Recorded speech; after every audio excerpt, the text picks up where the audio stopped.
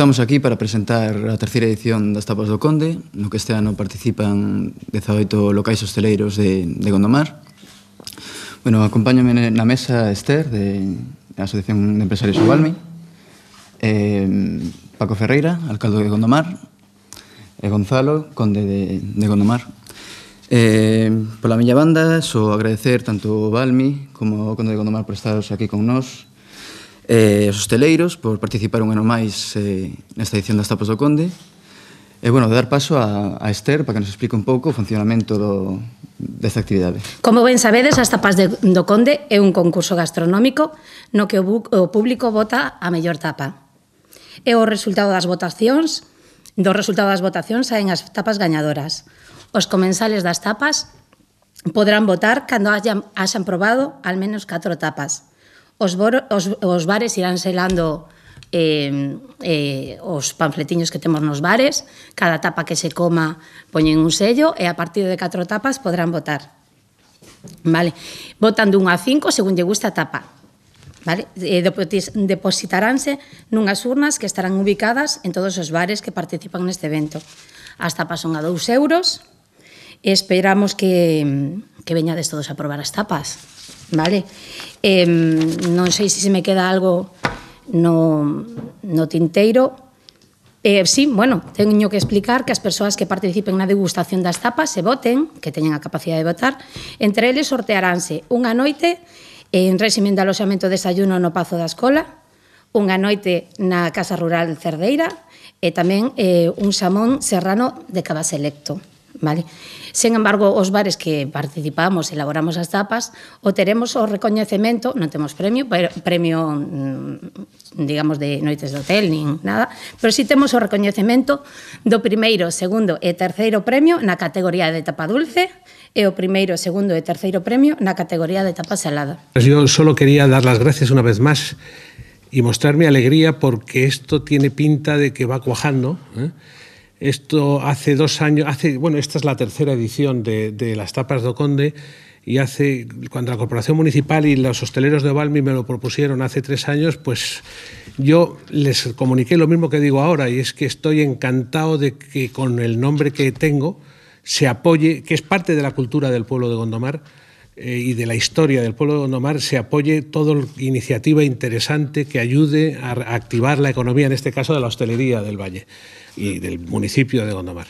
Entonces yo estoy encantado de que esto se vaya repitiendo, que ya vayamos por el tercer concurso de las tapas do Conde y esperemos que esto, pues eh, como otros años, pues sea divertido, todos disfrutemos de unas tapas estupendas y hagamos que poco a poco y año a año se vayan sumando más hosteleros y que poco a poco y año a año vayamos teniendo un concurso más o menos de tapas más o menos eh, establecido ya para el verano gondomarense que será bueno para la hostelería. Nada más, muchas gracias por todo, gracias por la confianza que, muestran con, conmigo y, esperemos que haya mucha suerte este año y que todo vaya muy bien. Gracias a vos por estaros aquí, eh, gracias, como non podía ser de outro xeito, a vos, hosteleiros, que formades parte do texido non só asociativo, eh, cultural, gastronómico da vila, sino que sodes unha peza fundamental e un atractivo para que a xente veña a Gondomar e para que Gondomar sexa coñecido de aquí para, para fora, non? en calquer sitio. Xa vamos por a terceira edición das tapas do Conde, xa vamos por o terceiro ano, cada vez están sumando máis establecementos, máis locales, en este caso chegamos á cifra de 18 establecementos que se suman a esta iniciativa gastronómica e cultural. En este caso, as tapas eh, teñen un prezo eh, máis ou menos eh, simbólico de 2 euros, eh, e hai unha tapa doce e hai unha tapa salada o cual a xente pode tamén degustar dúas variedades, non? Eh, como decía ben antes, Esther, eu quería mm, recalcar digamos que quen vai a seleccionar as mellores tapas, tanto doce como salada, pois vai a ser aqueles comensales que se acercan aos establecementos e que de maneira individual isto, digamos, puntúen a mellor tapa. Non, iso é importante para que vexades que tampouco hai ningunha man negra a hora de escoller as mellores tapas, senón que verdadeiramente eh, os comensales son quen deciden cal é a mellor tapa doce e a cal é a mellor tapa salada.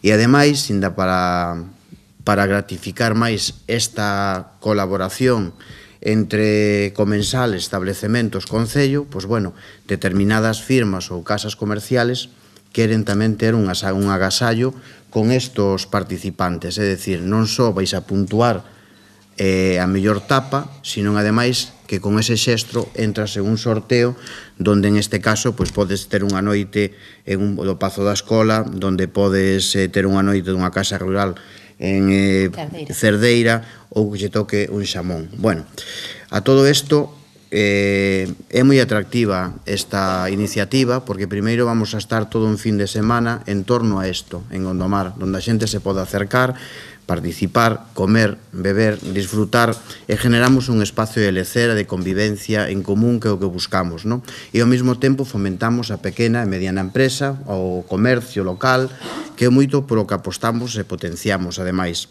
Quero agradecer pero moi en especial a colaboración unha vez máis co Concello de Gondomar de Ovalmi, da Asociación de Empresarios, que sin eles verdadeiramente isto non se faría, porque hai que decir que o Concello son é un mero colaborador, un colaborador necesario, pero colaborador. Pero os verdadeiros organizadores de este evento, os verdadeiros eh, protagonistas de isto, sí que é a Asociación de Empresarios do Valmiñor, e para eles todo o reconocemento nos como institución e tamén o reconocimento e o agradecemento de que participen moi directamente con nosco do Concello de Gondomar, en a que sei que o fan dun ámbito e dun, dun espazo común como o Valmiñor. Quero tamén agradecer, por suposto, a colaboración unha vez máis e sempre camán tendida hacia a institución, hacia as súas xentes, que é a colaboración de Fernando eh, o Conde de Gondomar, perdón, Gonzalo Fernández eh, o Conde de Gondomar, que ano tras ano se suma a todas as iniciativas que nos levamos a cabo. Falamos de outro, o trofeo Conde de Gondomar, vinculado co, co deporte, ca cultura, abre durante días isto mm, a súa casa para que a xente de Gondomar e non a xente de Gondomar se poida acercar a conocer por fora e por dentro o Pazo do Conde de Gondomar. De feito, eh, esta semana empezamos cas visitas guiadas, donde el, de unha maneira altruista, gratificante e ademais desinteresada, abra as súas portas para que o Pazo sea un espacio común para todos nós de disfrute e un espacio de cultura donde podamos intercambiar incluso opinións e abrir Gondomar ao mundo, por que non?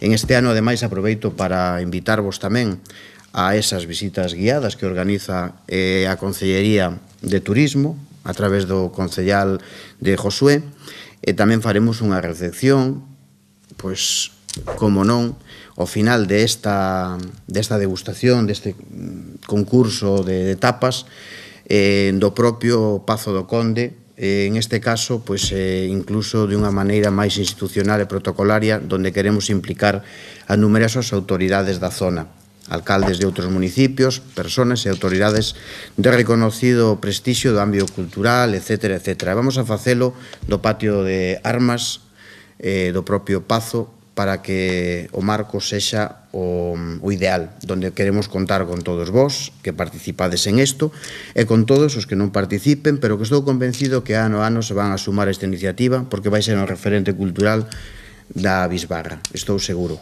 Por lo tanto, remato, Esther, moitas grazas, grazas a vos por participar en isto, grazas sobre todo a, ao Balmi por a organización, gracias ao Conde, gracias ao Concelleiro, que ao final é o que leva o peso da organización por parte do Concello, e eu só son unha peza simbólica que ao final ven aquí a darvos as gracias, a reconocervos o voso eh, valor por por estas tapas a dispor de todos nós, E non me queda máis que participar como un máis, irei a probalas, darei a miña puntuación de unha maneira imparcial, obviamente, e que gañe o mellor, porque sí que hai que decilo, é bonito que é bonito que exista esa rivalidade entre vós, porque eso o único que axuda é a perfeccionar a gastronomía e a perfeccionar o noso concello e ser coñecido por as magníficas tapas que teñen aquí unha magnífica